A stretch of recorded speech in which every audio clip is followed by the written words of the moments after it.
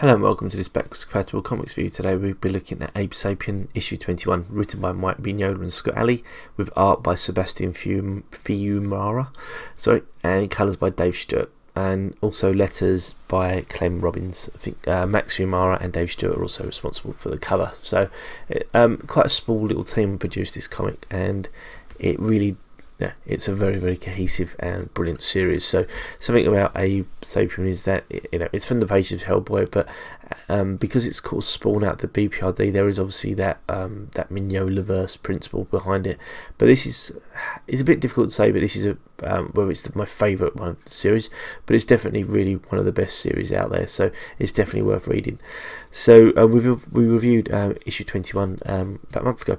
So this is uh, the, the continuation of that. So um, we're looking at um, a mixture of things. Obviously, Abe um, is is on his own, but he's with a mixture of humans. But what we're looking at this is the uh, Arbogast, I think is the name. A R B O G S T. Arbogast is the is the is is a man who's been at the head of a cult. He's been collecting children, but under the and there's something it's been related to um, to Haitian voodoo.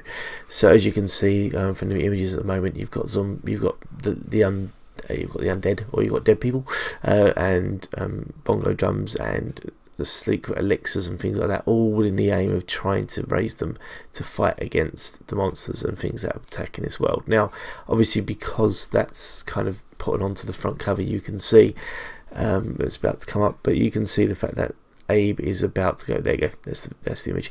Abe gets to have a little bit of zombie fun in this. Now, there's something about the artwork in this one where you see Abe really. Um, Abe is quite a menacing looking character anyway. Now, we know him um, for the person he is and the fact that he is actually gentle.